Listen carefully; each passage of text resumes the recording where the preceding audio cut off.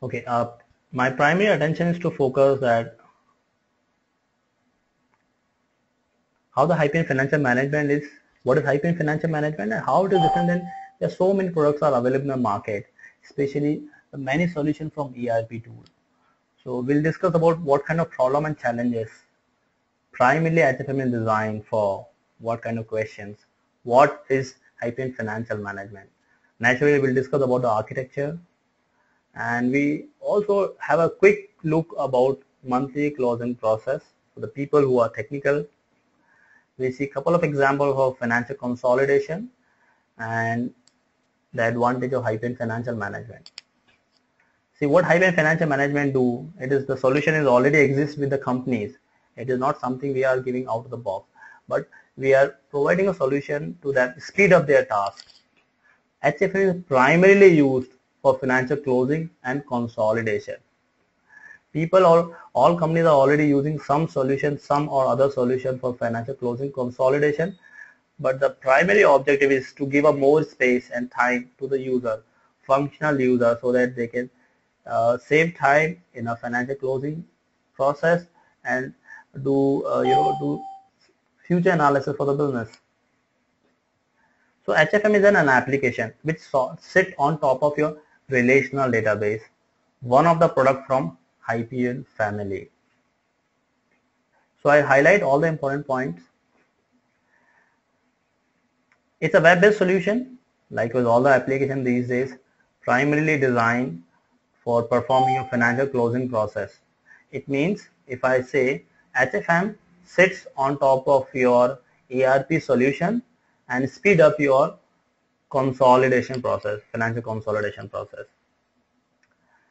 HFM is primarily designed for enterprise-based solution. You know, the complete Hyperion family is called EPMA now.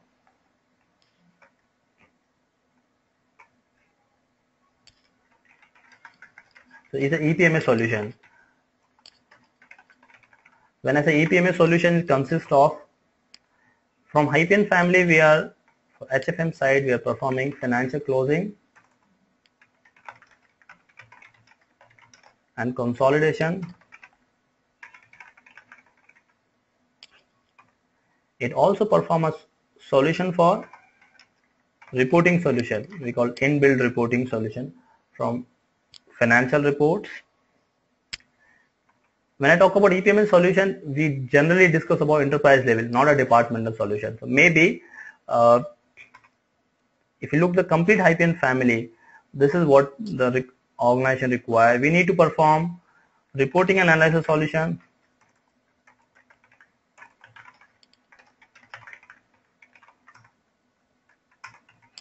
we want planning and budgeting solution. In an organization. We also want financial closing solution. And we want a solution from primarily these three. So when I say EPM enterprise solution, it means my solution is not based on one line of business, one department. We consider complete organization as one unit and give a one integrated solution to them. For reporting and analysis, we provide solution from Hyperion side called financial report. Or maybe we can design offer some other reporting solution called web analysis for now, assume it's one of the solution available from the Hyperion family. For planning budgeting, we offer them Hyperion planning of financial closing consolidation. Oracle has more than one solution. HFM is one of them.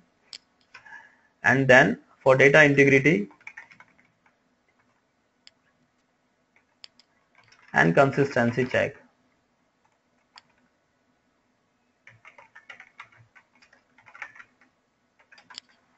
We do FDQM. So when I use the term called enterprise level solution is one solution from the complete family. As I said, financial closing consolidation being used, um, you know, there are many people can do the same solution in Excel base. But what does HFM add value? It speed up the operation of your financial closing. Therefore, it gives a more room for functional users so that they can make use of this time for future analysis. So there are big terms that we use. First, quick solution. Second, it sits on top of your data warehousing so that you can make use of data warehousing functionality. Cost effective. Most of them can be automated, including capturing data from your transactional system, loading into your application, performing reporting. All these things can be, you know, you using from weeks to days. Therefore, you can save the time. Most important aspect which I want to highlight over here. Before HFM, there used to be a product called Hyperion Enterprise so as I always say, as a product, this is very mature product and being giving solution for years. So they may, they know what are the business challenges are associated with this. HFM is primarily designed for as I say enterprise level. It means when I say enterprise level, the my organization may be spread across across the globe and we need to deal with issues like different currencies, languages, you know, government policies, com, uh, compliances, so the first challenge which we need to address to collect data from disparate sources from technical point of view and from functional point of view. We'll discuss about there's a, a tool called FDQM which assists HFM to collect data from different sources. And then finally once you collect data you perform data consolidation and internal reporting and analysis. Financial consolidation is generic word means you add up the numbers from different subsidiaries to a parent subsidiary and then you build report on top of that. A reporting are inbuilt reporting inside your HFM or it could be extensive uh, reporting based on your statutory report requirement in financial reports. So if I give you one line meaning of what is financial closing and what HFM does, you can assume we will look at my Excel sheet. This Excel sheet is talking about expenses associated with certain activities. The activities are like expenses associated with meeting expenses. Now there are two Excel sheets. One Excel sheet is basically talking about one line of business called corporate risk, corporate and sub line of business is corporate risk and evaluation and division is risk assessment group. My second sheet is also does the same thing but the second sheet is for a division called risk mitigation group and so first and second sheets are absolutely identical. So similarly same thing happened for enterprise level they have multiple subsidiaries like PepsiCo they are spread across the globe. So they have an operation unit at each geographical unit. They may be split across based on geographical units based on your business operation based on your management hierarchy. But eventually when they calculate their expenses and publish their you know balance sheet global balance sheet they sum up the numbers. So in this example there are two subsidiaries I have got or I can call two division one is risk mitigation group and another one is risk mitigation risk assessment so when I say consolidate to consolidate my total expense I may have another sheet over here I call consolidated expenses. So my consolidated expenses, this would be sum of both division. This would be 200. So this is a simple example of consolidation.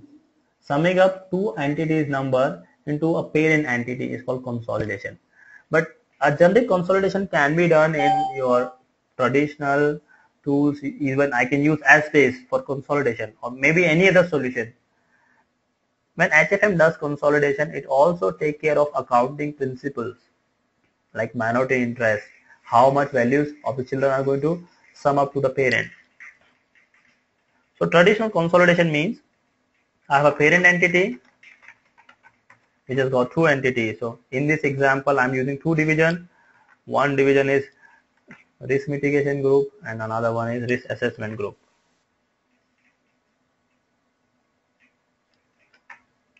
So we capture the expenses. Let's say meeting expenses